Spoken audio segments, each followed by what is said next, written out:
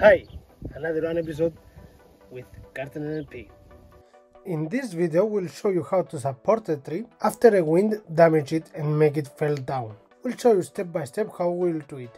For this job, we will need a wooden pole, rope and a rope ball to put it on the wall so we'll support it with the wall because behind we have a wall so we can use it.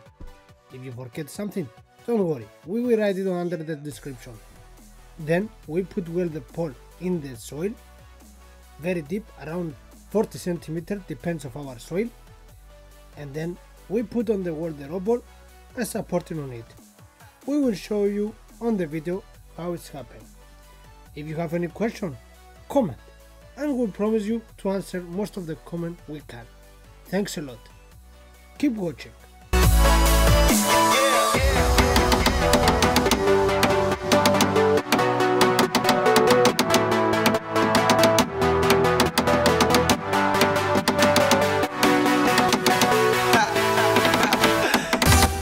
Need one hammer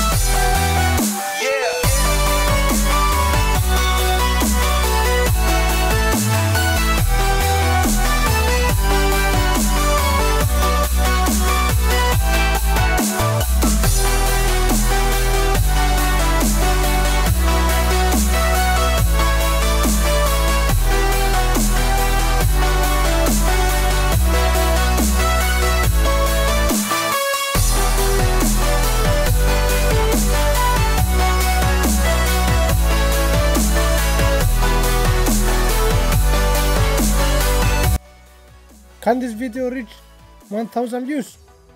With your help, I'm sure we can. Can also raise up our subscribers? Maybe 200?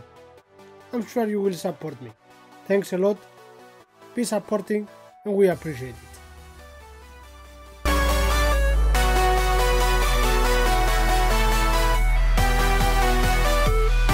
Bubble with no worries.